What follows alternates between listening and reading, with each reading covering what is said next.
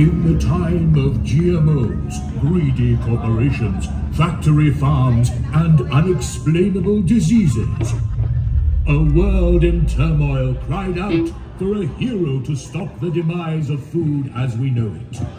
He is Ronald Osbourne, the horrifying clown. Forged in the heat of the grill and bathed in the grease of the fryer, his message will change the world along with his Monsanto mutated fiends, Grimalice, the Cat Burglar, and Slayer MacCheese. Ronald is worth a warn you of the evils of the drive-through dinner. I bring to you Mac Sabbath.